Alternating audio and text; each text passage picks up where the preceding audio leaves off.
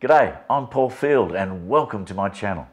I've been making music since I was 17 years old in bands like the Cockroaches, uh, the Field Brothers, my rockabilly band, the Sacred Hearts. So you'll see a bunch of stuff from the past, but of course new material from my album Love Songs for Lonely People. Hope you dig it.